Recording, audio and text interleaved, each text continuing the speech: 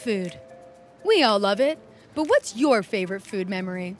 My name's Alana Johnston, and this is Food for Thought. Do you have any favorite food memories?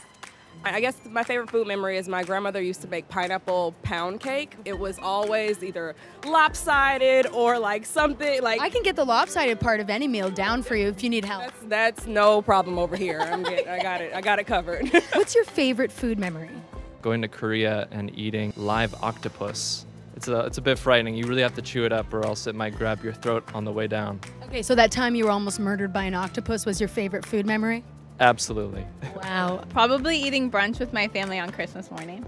I was I was going to say the time my mom gave me uh, grape juice and then I projectile vomited it all over the wall. What do you think? Are you in therapy? Probably my first cup of coffee. Can that does that count as food? I think so. How old were you? Uh, I was about five, and my nan or my grandma made me a cup of Folgers back in Australia. I'm, I'm sorry. You were five and you got coffee? back then, it was totally fine. There was probably whiskey in it.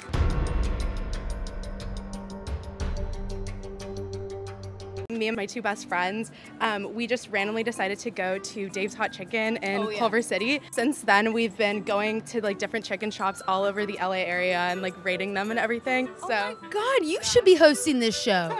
I'm stealing your job then, I guess. Uh, cut that, cut that part. Okay. a friend of mine decided to do a prank on me and said you should try this spice he's like put your finger in the spice and just like give it a little sniff and i did and he like put like so much spice up my nose and i started crying and i wasn't able to eat for the rest of the evening Okay. Uh, very traumatic, it sounds like.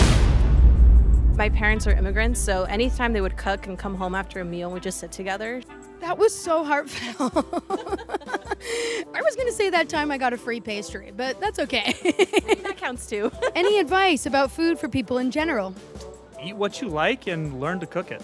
Oh, I don't know about that second part, but thanks. It was so nice to meet you. Thank you so much for joining me. Thank you. Oh, is this No, no, just just this. just this? Yep.